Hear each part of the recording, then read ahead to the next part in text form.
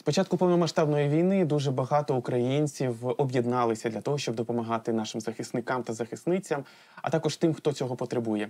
Сьогодні також говоримо в третьому секторі вже не, не перше про таку з організації, яка об'єдналася для того, щоб допомогти е, і захистити тих, хто захищає нас.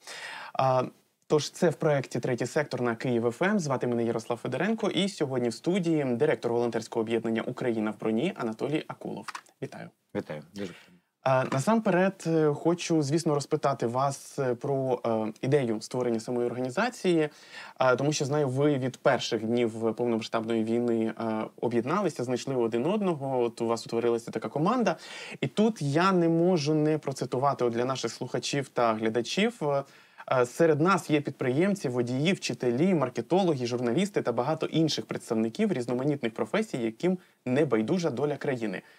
Е, Відразу виникає питання не лише про ідею створення вашої організації, а як от такі от різні люди могли взагалі знайти один одного, об'єднатися і утворити таку от е, команду, яка є на сьогодні.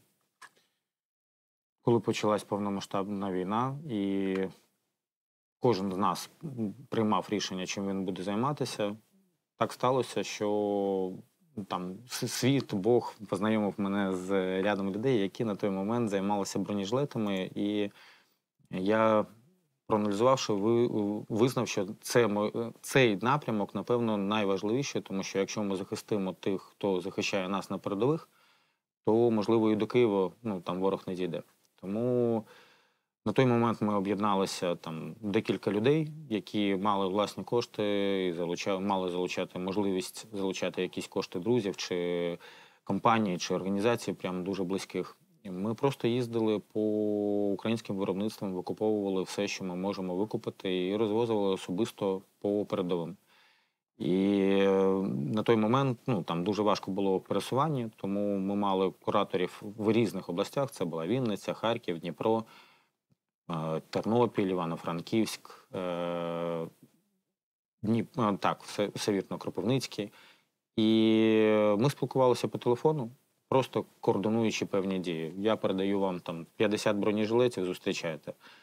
Е, а потім, коли ми зрозуміли, що треба створювати організацію, бо фінансування потрібно набагато більше, ніж ми можемо навіть там гурьбою собі дозволити.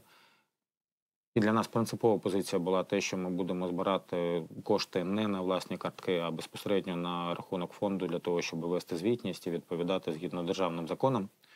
То ми вже нарешті об'єдналися і зустрілися в Києві на реєстраційних е, справах. І в той момент це було дуже цікаво. Як виявилося, з тої команди, з якою яка вже склалася на той момент, це було сім людей. З е, однією людиною я вже на той момент там 6 років працював там на іншому проєкті, але ми тільки в момент зустрічі у нотаріуса зрозуміли, що ось ми один одного знаємо. Тому ми об'єдналися всі задля спільної мети захистити нас, ну там українців, від ворога, який на той момент дуже нещадно просто насувався. Е, І спільна мета, і все. Ну там тому і різні професії, тому різний вік. У нас на сьогоднішній день волонтери від 60, точніше, від е, 16-15 років до 72. Десь так. Ого, ну тут е, різноманіття не тільки в е, Професіях, професіях, але й вік, віці. Так. так.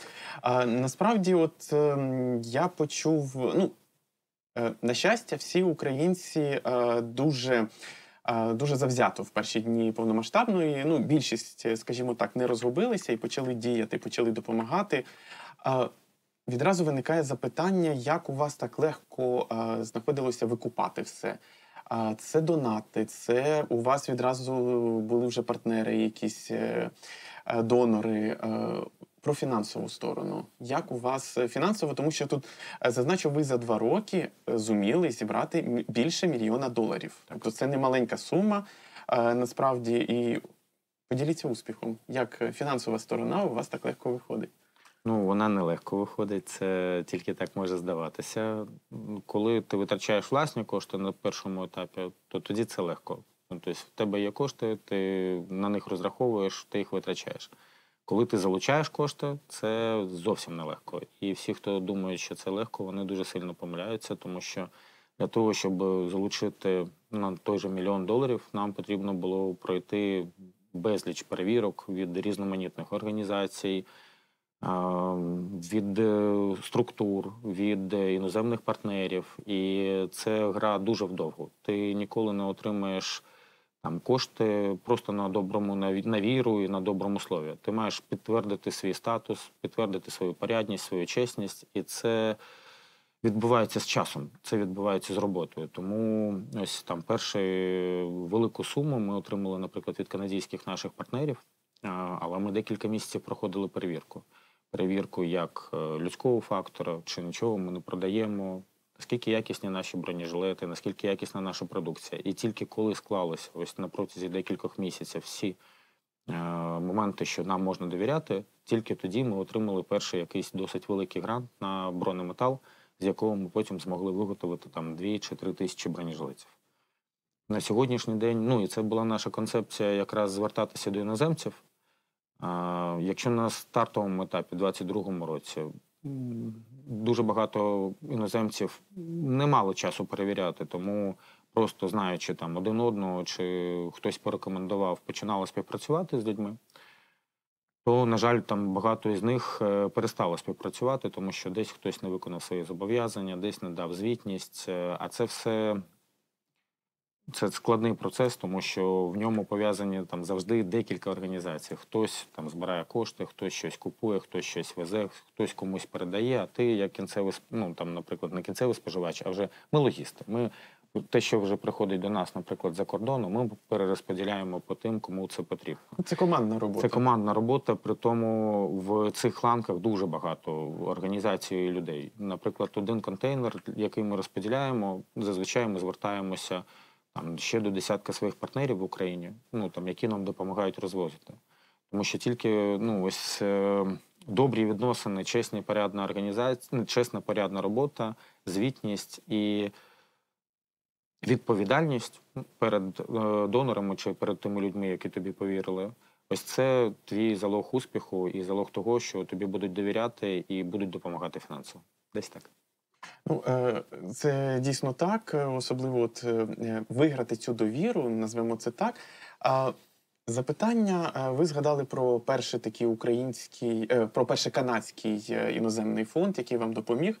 Знаю, що ви працюєте з кількома фондами з різних держав. І Насправді, коли я от побачив список навіть назв фондів, от Канада, США або Нідерланди, там навіть в назвах фонду є Україна. Ну, тобто це або українська діаспора, або е, місцеві, які для України створили фонд для того, щоб якось допомагати. Виникає запитання, як ви вийшли на такі фонди, або вони вас знайшли.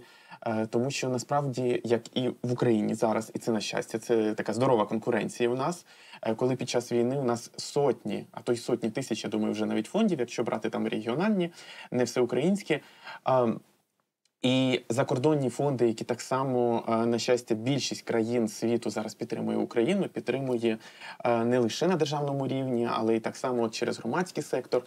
А як відбулася ця співпраця? І на сьогодні, от третій рік е, практично війни, наскільки ця співпраця у вас, от це можна сказати, триває перевірена роками? Десь по знайомству, десь просто з зверненнями. Ну треба.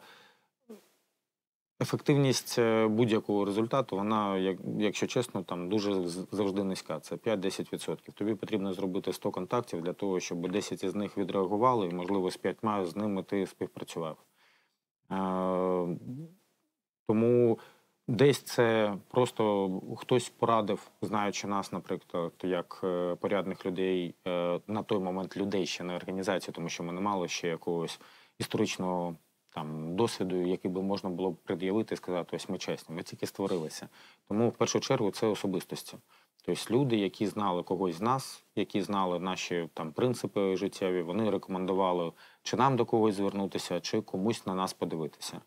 Е, таким чином починалася якась е, розмова. А потім тільки співпраця і чесна, порядна, надійна двостороння співпраця вона надає тобі результати і надає тобі можливість рухатись далі.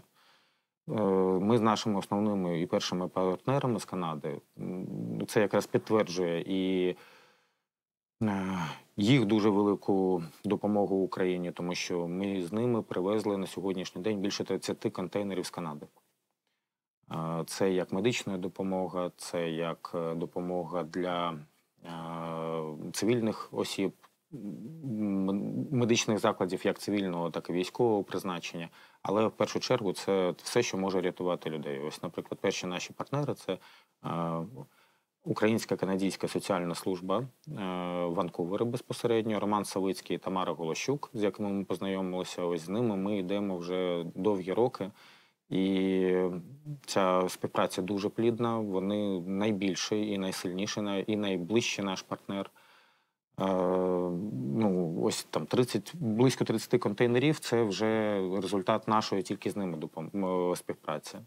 На сьогоднішній день ми співпрацюємо і плануємо відкривати навіть міжнародні представництва в семи країнах світу. Це там, де в нас вже дуже сталі і надійні партнери, які перевірені вже роками е, і справою. Це Канада, це Англія, це Ірландія, це Польща, це Німеччина, це Чехія, е, Нідерланди. Нідерланди, Штати. Тому, в принципі, Франція. Е, час показує, наскільки ти порядний і чесний. Е, відповідальність перед людьми, там, яким ти допомагаєш, вони завжди щось, ну там хтось щось може там. Е, Написати, порекомендувати, ну там чи ось, наприклад, нас е, військові на нас виходять тільки по рекомендації інших військових. Ми комусь допомогли, потім нас рекомендують, зв'яжіться з тим, а вони допомагають. Там іноземні партнери на нас виходять, тому що нам довіряють, тому що ми строго відносимося до своєї звітності. Одна організація з нами почала працювати, і потім вона рекомендує нам нас іншим організаціям, наприклад, тій же Канаді. В Канаді зараз ми співпрацюємо з трьома організаціями, хоча починали з однією. Так як з Англією починали з одного волонтера нашої Дарії, яка там. А на сьогоднішній день ми співпрацюємо там з чотирма організаціями і вже плануємо відкривати там своє представництво. От ви згадали якраз про Канаду на, на самому початку, вже вдруге. Власне, за нашу розмову. Ви згадали про те, як Канада е, там перша організація, яка до вас доєдналася. І ви сказали саме про гуманітарний напрямок роботи, тобто це якраз і медичний для постраждалих, для людей, для того, щоб вижити. Е, Знаю, що у вас є е, і військовим напрямком ви також працюєте, тобто ви працюєте як із військовими, медичні якісь потреби закриваєте, гуманітарні. Хочу запитати про напрямки вашої роботи, тому що це не один напрямок, їх кілька. Давайте, якщо от про напрямки, які як ви ділите взагалі, е, ділитеся або в команді, або це. Е, я розумію прекрасно, що один донор, наприклад, може допомогти в різних напрямках відразу. Але як відбувається взагалі от е, таке насичення різних напрямків одночасно? Ну, скажімо так, що якщо так зовсім грубо поділити, то це військовий і цивільний напрямок, тому що вони край відрізняються. Військовий напрямок ми маємо і підтримуємо за рахунок українців і людей, які нам в Україні довіряють. Цивільні напрямки і гуманітарні напрямки ми можемо підтримувати за рахунок наших іноземних партнерів. Є державні певні заборони, тому що державні недержавні організації, благодійні фонди іноземні, вони не можуть підтримувати все, що зв'язане з військовими. Тому дуже важливо, і я хочу звернутися до всіх українців, знати це і розуміти. Треба підтримувати українські організації, які займаються мілітаркою, допомагають війську, саме українцям. Тому що очікувати допомоги від когось іншого ми не можемо. Ну тому це правда. Якщо ми кажемо про цивільні і гуманітарні напрямки, то тут так ми можемо звертатися до різних партнерів, до різних організацій, до різних грантодавців. Е, Тут набагато легше. Знайти кошти на цивільний гуманітарний напрямок за кордоном. Якщо ти порядна і чесна організація, в тебе є всі необхідні документи і вже досвід роботи, і ти можеш довести, що ти можеш це зробити. Е, Це справа тільки часу і своєї впевненості. Е, А ось з мілітарним напрямком тут ва- важче. Ось по мілітарному напрямку він у нас ділиться на амуніцію. Ми виготовляємо всю амуніцію, яка необхідна бійцю. Від е, Ви виготовляєте? так. Ну, спочатку ми все викуповували там, де ми могли купити. А так, але так як в нас в команді є декілька економістів і фінансистів, ми рахуємо кошти. І для нас дуже важливо, щоб е, та кількість коштів, яка є, вона всіх обмежена, вона була максимально ефективно використана. Тому ми прийшли до того, що навіть з найвищими знижками, найбільшими, там навіть великими партіями, ми не зможемо вийти на таку ціну, якщо ми не будемо виготовляти це самостійно. І ще в 22-му році ми зорієнтувалися і почали виготовляти всю амуніцію, бронежилети самостійно. Е, Навіть були спроби виготовляти шоломи з харківськими партнерами, мобільні ліжка, спальні мішки е, і багато чого баги, трони. Це те, що виготовляється в Україні, це те, що в нас складається з мілітарного напрямку, не якщо ще не згадувати, це технологічні розробки. Е, Тому мілітарі напрямок в нас ділиться на бронезахист, і ну, там, броня для нас це і балістичний поліпропілен, це і кевлар, це і бронеметал, будь-який матеріал, який може захищати і має захищати при певних умовах. Щось від уламків, щось від кулі. Потім це е, амуніція, текстильна продукція.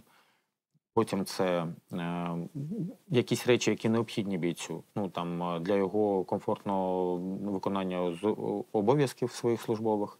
Це там спальники і різні просто речі побуту, там вплоть до гігієни. Це якась медична допомога, тому що ми всі люди, ми іноді хворіємо, потрібні ліки навіть там від тої ж простуди чи від ще чогось. Е, баги, які е, у нас є Олександр Голуб, один з співзасновників фонду. Він разом з Олександром Шманяком, ще одним з нашим співзасновником, в 22-му році сконструювали баги, які на сьогоднішній день вважаються одним з найкращих в Україні. Більше 41 вже було передано на фронт, і вони працюють, виконують завдання, рятують хлопців, витягають їх, підвозять їм необхідні, е, необхідний провіант е, чи їжу, чи вивозять їх там, де вони не можуть вийти самостійно. Давайте уточнимо для е, багі баг це транспорт. Чим він відрізняється від звичайного транспорту? Так для усвідомлення просто тих, е, хто нас зараз слухає. Мгм. А, так, це ну по суті, це автомобіль, у якого є чотири колеса. Але якщо ми візьмемо якийсь, наприклад, е, будь-який автомобіль, приберемо з нього всі бокові е, частини, приберемо двері, приберемо переднє заднє скло, приберемо верхню частину і залишимо тільки каркас. Ось це буде по суті, ну там щось не схоже на баги. Але це так дуже дуже умовно, тому що баги конструюються кожна індивідуально. Вона окремо розроблявся каркас, окремо розроблялася механічна частина для Ну, того, тобто щоб це вона була е, з нуля зроблений автомобіль, а не перероблений там звичайний Абсолютно. позашляховик, наприклад. Ні, ні, ні, ні. Е, На жаль, е, ну перші спроби, бо це було переробка, але звичайні автомобілі не, не готові до тих умов, в яких використовуються баги. Баги має бути незамітна, вона має бути всепрохідна, вона має швидко пересуватися і бути дуже легкою. Тому спроби там перероби, перероблювати автомобілі не увінчалися успіхом, тому була сконструйована взагалі унікальна своя конструкція. І на сьогоднішній день у нас навіть є другий тип багів. У нас є вже електробаги, які, яку ми виготовили, і яка нещодавно да, була навіть в київській адміністрації, на неї дивилися. Е, Це новітній продукт, який на сьогоднішній день може, може призвести до певної революції. Дуже багато позитивних новин. Насправді, от ми перед нашою розмовою якраз сказали, що поговоримо про щось позитивне. Я зараз е, реально чую, наскільки от а ми е, через війну, ну через умови війни, вона там не електрокари, а електробаги вже з'являються там. Або е, взагалі, я думаю, для багатьох, хто нас зараз слухає. Дуже приємно буде було почути взагалі, що у нас є виробництво, виробництво, яке працює на військову допомогу. І насправді ем, вже я думаю, дуже багато людей розуміють, коли перед тим як ем, оскаржувати те, що там якась якийсь іноземний фонд, він, наприклад, кладає гроші або в освіту для України, або для відновлення, але не в зброю. Тому що е, насправді е, зброя е, іноземна може бути тільки на рівні держави бути продана, і про це ми вже неодноразово і тут говорили навіть в проєкті, що насправді громадський сектор не може просто так купити зброю в іноземних держав і забезпечити цим своє військо. Про інші хотів ще розпитати вас напрямки роботи. Знаю, з медичним напрямком ви так само дуже активно працюєте. Ви допомагаєте і лікарням і різним закладам. Розкажіть, як це взагалі відбувається, звідки беруться ці потреби? Тобто вам телефонують там або пишуть, кажуть: слухайте, допоможіть нашій лікарні, нам треба там, я не знаю, якісь е, установки медичні. Як це відбувається? Це другий напрямок, це гуманітарний. В нього входить якраз медичний напрямок, в нього входить напрямок реабілітації і протезування. І соціальний напрямок допомоги людям, які потребують. Це чи ВПО, чи, на жаль, сім'ї, які залишились вже без батьків, тому що вони пішли воювати і, на жаль, не повернулися царство небесне. Тому е, ми намагаємося в цивільному секторі підтримувати ось від медиків до цивільних. Е, По медикам на сьогоднішній день ми виконали десь близько 500 заявок і допомогли десь близько 350 медичним закладам. З'являються вони по-різному. Хтось звертається до нас, тому що ми комусь допомогли і нас вже радять. До когось ми звертаємося, тому що чуємо від інших волонтерів, що ось там цей медичний заклад заклад потребує якоїсь допомоги, чи обладнання, чи перев'язки, чи взагалі будь-чого. Е, Тому на сьогоднішній день ми маємо вже дуже велику ну там базу контактів. І якщо до нас наприклад, щось приходять, ми розсилаємо, знаючи, що в нас там є там 20-30 дитячих закладів. Нас прийшло щось для дітей. Ми сфотографували, розкинули їм і сказали, спитали, там наскільки вам це потрібно. Тут кювези, тут е, сіпапи, тут е, ІВЛи, там тут ще щось для дітей. І вони кожен ніхто не бере собі більше, ніж йому потрібно, тому що на складах ніхто теж не хоче це зберігати. Всі зазвичай, ну там, якщо це порядні нормальні лікарні, а всі розуміють, що ну не треба брати зайвого, то воно розходиться якраз в пріоритетах, ну там в пропорції для того, щоб всім потрошку досталося. Для нас є пріоритетними, наприклад, це медичні заклади, які перенавантажені. Це на сьогоднішній день Сумська область, Херсонська область, Запорізька область, Харківська, як завжди. Е, Але і ті заклади, які, до яких ніхто не доїжджає, тому що ну, піар ніхто не відміняв, хтось е, хоче пропіаритися, тому допомагає центральним закладам, такі як центральний шпиталь чи Мечникова, які у всіх на слуху. Тому там в деякі медичні заклади приїжджають сотні волонтерів. А до деяких якихось сільських чи місцевих е, лікарень, там, де немає нічого, але вони також лікують людей і потребують цього, ніхто не доїжджає. Тому воно по-різному переходить. Десь ми знаємо, що потрібна допомога, десь на нас виводять. Ну так, насправді погоджуюся тут з вами. Е, є клініки, які вже на слуху у всіх, і всі знають. е, Ну і в першу чергу це якраз е, лікарні для військових. Тобто це якраз які з передових з передової поранені якраз туди відправляються, але є ще постраждалі, це цивільне населення. Залишається в нас дуже вже мало часу, і на сам на саме завершення хочу вас запитати, як до вас можна долучитися, як і в команду. Чи у вас відкриті двері взагалі для бажаючих? І так само, як вам можна допомогти? Це чи можна вам задонатити? Скажу відразу такий, такий анонс в описі під відео на youtube каналі Київ ФМ буде посилання на сайт, де можна е, зайти і також додатково дізнатися інформацію про е, саме об'єднання. Тож, як до вас долучитися і як вам можна допомогти?